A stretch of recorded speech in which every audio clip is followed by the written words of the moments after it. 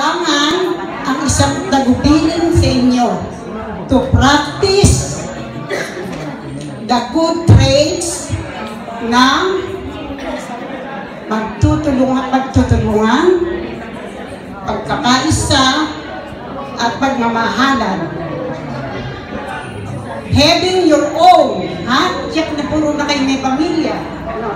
Having your own family,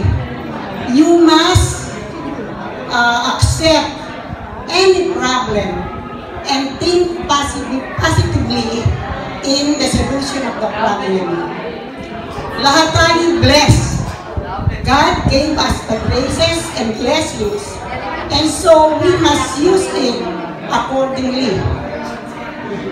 Kaya sa nakita ko ngayon kasiyahan ninyo, eh palagay ko eh kaming mga guro ay nasisiyahan din sa saya na nakita sa inyo.